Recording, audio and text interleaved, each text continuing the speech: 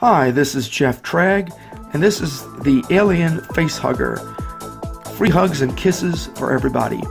This is from the motion picture Alien 1979.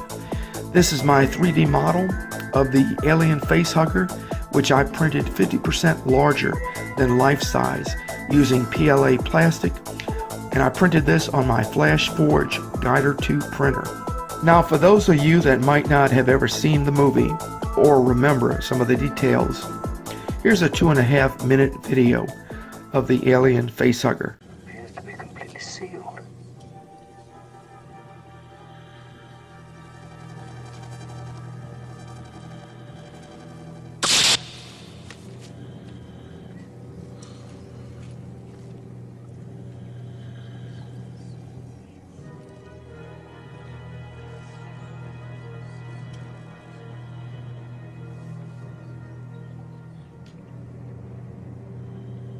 Wait a minute, there's movement.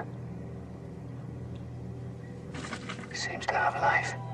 Organic life.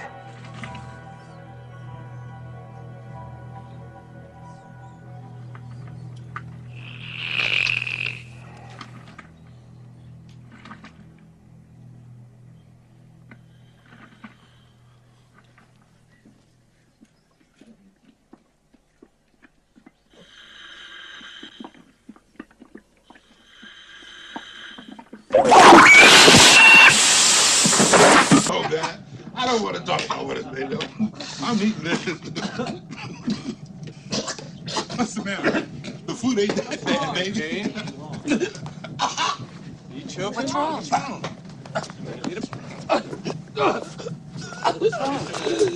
What? What?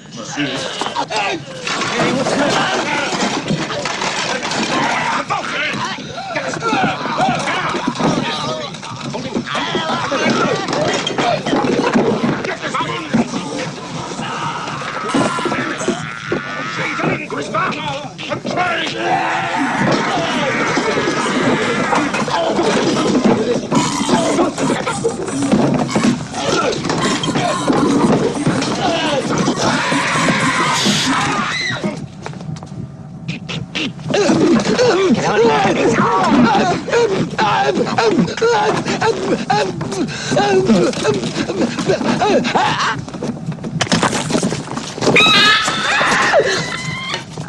Oh, God!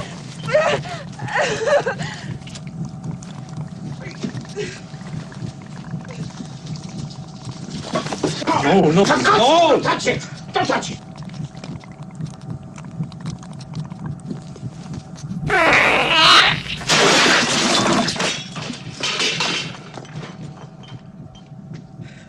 The life size model was downloaded from Thingiverse titled Ultimate Alien Facehugger by Agisis, dated back from November 6, 2015, and I'll include a link in the text below. Total printer build time of the 76 pieces was 136.5 hours in hyper high res mode.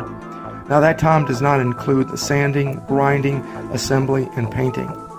I used 10% infill on both the top and bottom sides of the torso, thereby making it light enough for the eight legs to hold up.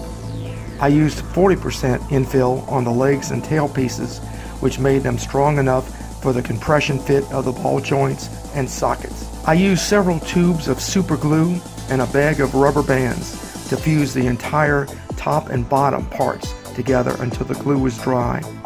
For tools, I used a Dremel, X-Acto blades, flat blades, Bondo, coarse files, 60 grit sandpaper, and emery cloth. This model requires quite a bit of sanding on the bottom flat sides and on the ball joints. It also requires quite a bit of muscle to compress each ball joints into the sockets. For the paint, I went to Home Depot and purchased four seven and a quarter ounce of cream, dark brown, black, and dark red water-based paints. After the cream color paint was dry, I painted over it with dark brown paint. Allowed the dark brown paint to sit for about a minute. Then I used a damp sponge to wipe over the area. This will give the model a very realistic look. And finally, I hung the model up and sprayed it with clear coat of high gloss paint, which gave the model a wet look as if it just crawled out of the egg and is searching for a host.